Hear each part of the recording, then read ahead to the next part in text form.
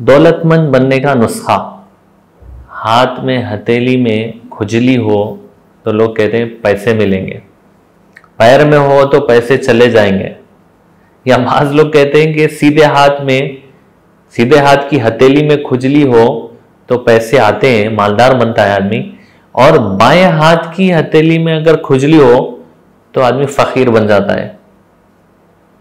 आवाज़ लोग कहते हैं कि दौलतमंद बनना है तो क्या करो, हाथ को ऐसा जेब में डालो और जेब में डाल के मस लो ऐसे जेब में डाल के आप ऐसा मस लो अगर खुजली शुरू हो रही तो समझो कि आप मालदार बनने वाले। आप सोच के देखो, अगर ऐसा होता तो बहुत अच्छा होता। कोई गरीब रहता ही नहीं, सब गरीबों को नुस्खा दे देते थे। लेकिन ऐसा है नहीं। अगर आप लोग जो मालदार हुए हैं, उनसे पूछेंगे तो वो लोग हंसेंगे।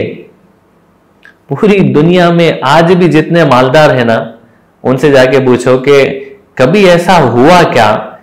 हथेली में खुजली हुए तो आप मालदार हो गए या पैसे मिल गए?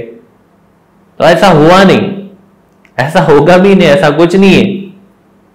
और अगर आप शरीय एतबार से भी देखेंगे, कुरान से पूछेंगे तो कुरान कह रहा है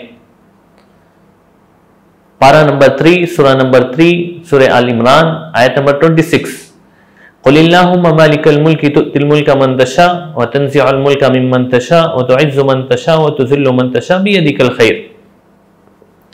रहे दुनिया की बादशाहत मालदारी मेरे पास है, मैं जिसे चाहता हूँ देता हूँ, जिसे चाहता हूँ फकीर बना देता हूँ। जिसे चाहता हूँ इज़्ज़त देता हूँ, जिसे चाहता हूँ जिल्लत देता हूँ। लेकिन ये नहीं है कि भाई हथेली खुजाए तो मालदार बन जाएगा आदमी।